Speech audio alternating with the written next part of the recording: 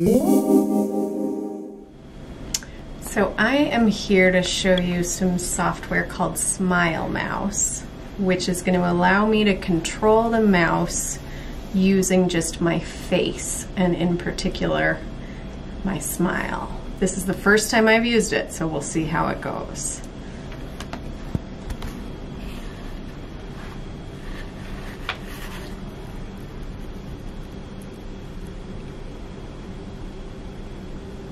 Okay, so it says move my head and smile to move the mouse. So if I smile,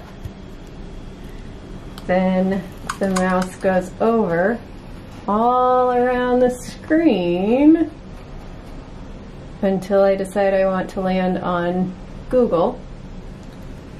And then I can take a break and to click, I'm gonna smile briefly. There goes Google. I'm going to come in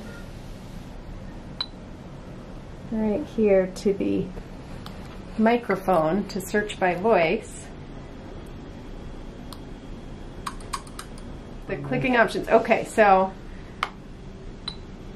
if you can see up here, this menu bar, the top black button will make it a single click if I want that with my smile. Right now I have the smile locked on the double click. So every time I smile, it's like a double click to open something or click on a link.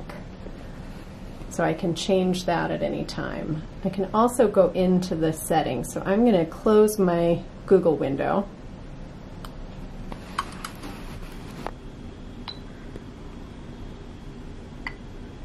And I'm gonna give it a quick smile to close and then go into the settings.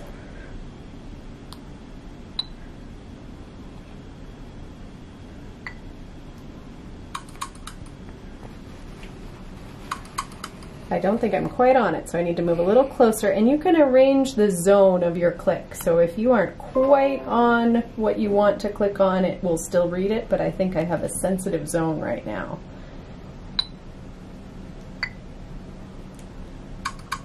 There we go. And then you can see the menu bar for all of the different preferences as far as how you point and click and use gestures.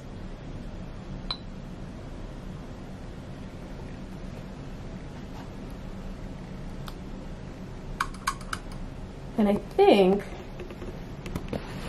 right now I am using my smile to move the mouse, but I could change that and smile to initiate the movement and then just move my head in order to drag. So there's a lot of options on how you use the Smyle Mouse.